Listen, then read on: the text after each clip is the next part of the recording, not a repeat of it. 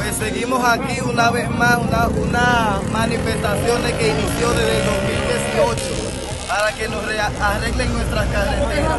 Sin en cambio, vinieron de obra pública y dijeron que no la iban a hacer. Sí, ellos hicieron medio kilómetro para que las personas crean que ellos están trabajando. Sin en cambio, vinieron dos meses y ya se retiraron. Incluso se llevaron todos sus equipos.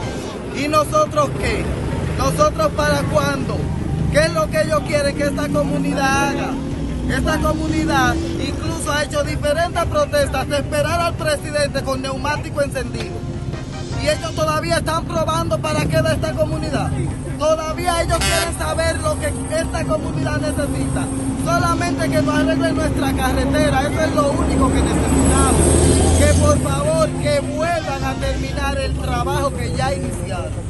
Nosotros lo que queremos es que se reinicie la, reconstrucción de la carretera, que nada más vinieron, lo que hicieron fue medio kilómetro, medio kilómetro, y por cierto, muy mal hecho también. Hoy estamos pacíficos, tranquilos, mañana no se sabe cómo que lo vamos a hacer. Obra pública, atiende este llamado, por favor. Esta calle que vive llena de agua, ¿no? eso se tapa de agua aquí. Eso se tapa de agua. ¿Cómo va a ser que, que, que no anda esa calle así a nosotros? Esa calle no, la, no nos la pueden dejar nosotros, ¿sí? Eso,